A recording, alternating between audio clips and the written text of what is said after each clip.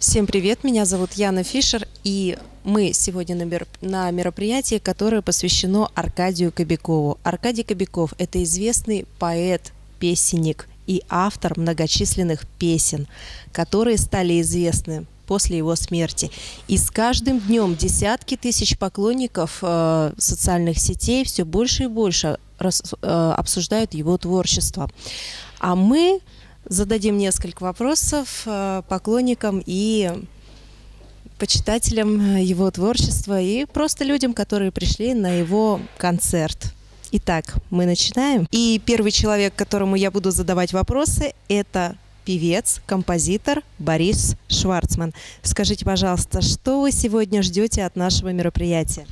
Вы знаете, я жду, во-первых, э, меня пригласили сюда по первому зову Славы Гранде, я оказался здесь, но больше того, потому что я знаю, что сегодняшний вечер и концерт посвящен замечательному человеку, исполнителю, которого, к сожалению, уже с нами нет, а, Аркадию Кобякову, да. И я не был с ним знаком очень близко, мы с ним встречались может быть, раз пять или шесть на разных мероприятиях, но он произвел на меня очень сильное впечатление, как человек очень большой души, и я видел, что действительно его песни, его исполнение очень нравятся людям, и он вокруг себя собирал очень много замечательных людей, я э, вот был тронут его какой-то искренностью, душевностью, его открытостью, ну, действительно, вот, э, простите за это слово, харизма, но она у него действительно была, ему вокруг себя собирал очень много и поклонников, и друзей. И узнав, что сегодня как бы вечер посвящен именно его э, памяти, по большому счету, и то, что как бы вот это становится некой традицией, э, делать эти концерты, я с удовольствием окликнулся, и вот я, в общем-то, и здесь. Ну, мы очень рады видеть вас сегодня на этом мероприятии. Вот э, что вы ждете от сегодняшнего мероприятия? А, может быть, вы поклонник каких-то определенных песен и хотите их услышать сегодня в исполнении уже, к сожалению, не нашего артиста Аркадия, да, но тем не менее я понял ваш вопрос. Дело в том, что что я могу ждать от подобных вечеров? А, от подоб... Э, э, встреча с друзьями, встреча со зрителем. А, я не могу назвать сейчас конкретную песню. Я знаю, что песни Аркадия будут звучать. И то, что эти встречи, они уже происходят и уже начали, и становятся доброй традицией, это главное. И моя э, основная, мое основное ожидание – это встреча с друзьями, встреча с коллегами, встреча э, со зрителем. И еще раз, каждый раз, потому что, вы знаете, ведь известная расхожая фраза, что человек жив до тех пор, пока о нем помнят. А Аркадий как раз достоин того, чтобы о нем помнить, о нем говорить, вспоминать его песни, вспоминать его человеческие качества. И когда мы об этом говорим, мы ощущаем, что вот он где-то тут рядышком с нами. Да, я думаю, что творчество Аркадия Кобякова, оно родилось, но оно никогда не умрет до последнего его слушателя, да, потому что мы уже видим, что сейчас в зале собирается немало людей, которые хотят послушать его песни. И вот у меня еще вопрос. Вот как вы считаете, его творчество, на ваш взгляд, его песни, это формат ближе к эстрадному исполнению или ближе к, э, к шансону? Ян, вы мне задаете вопрос, который сейчас, знаете, э, извечный, что такое шансон, что такое эстрада. Шансон, да будет известно, э, французское слово, которое переводится как песня. Поэтому э, просто сейчас очень многие ну, не очень многие, а некоторая часть нашего населения ассоциирует слово «шансон» а, с некой такой блатной лирикой, с, а, с тюремной, лагерной. А на самом деле это просто красивая песня, где э, очень важен, важна не только музыка, но еще и текст, текстовой, текстовой посыл.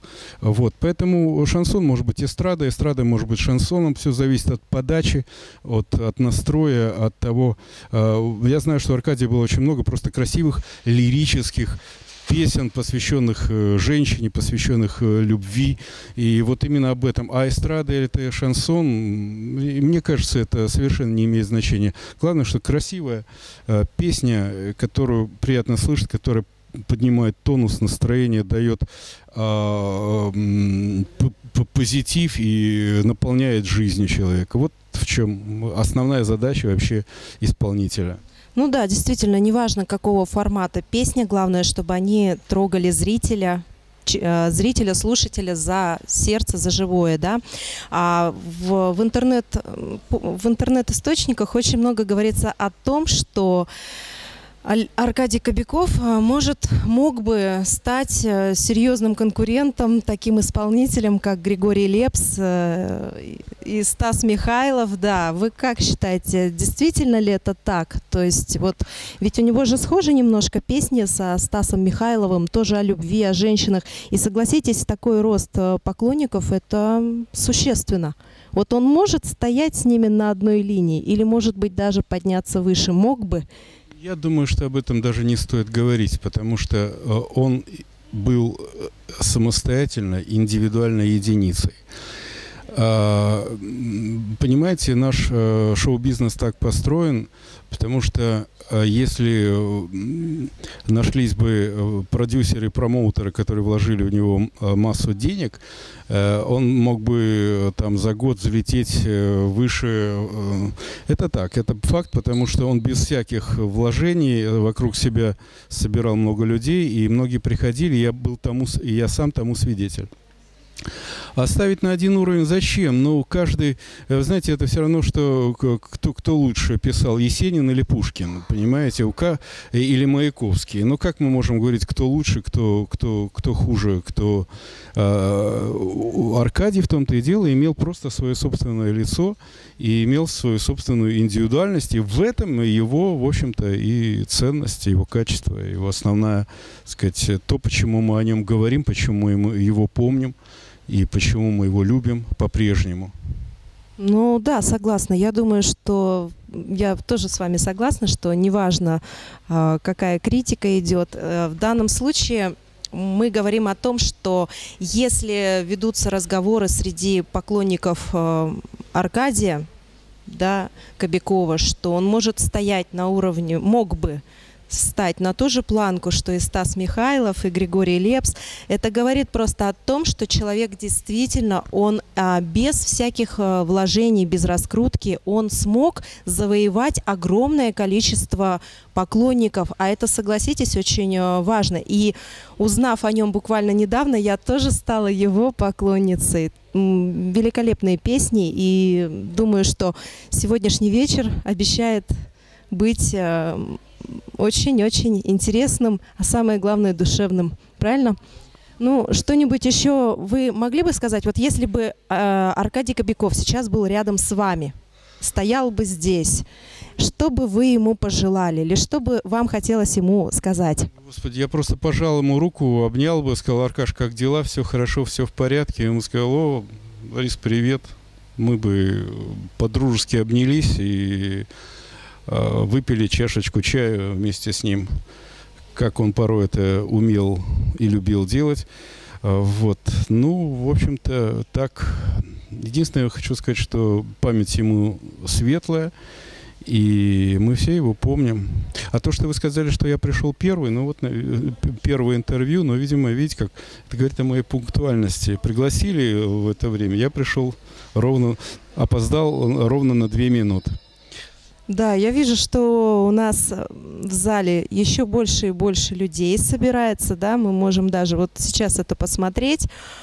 А, здорово, это очень хорошо, это приятно. Спасибо большое за интервью. Спасибо вам. Спасибо. Да, всего хорошего. Хорошего всем.